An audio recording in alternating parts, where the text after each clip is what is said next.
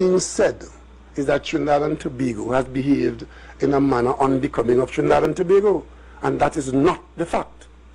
What we had here, in, what we have here in Trinidad and Tobago, we have difficulties in a neighboring state. There are people from that state who have difficulties at home, and as I said earlier on, we are a generous and caring people. We have arrangements which allow Venezuelans to come to Trinidad and Tobago, to stay for a short while, return to Venezuela, obtain supplies if they have to, and so on. That is what has been going on.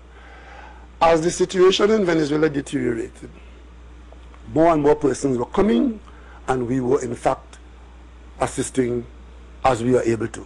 Bear in mind, we are not China, we're not Russia, we're not America, we are a little island limited space, 1.3 million people, and therefore we cannot and will not allow the UN spokespersons to convert us into a refugee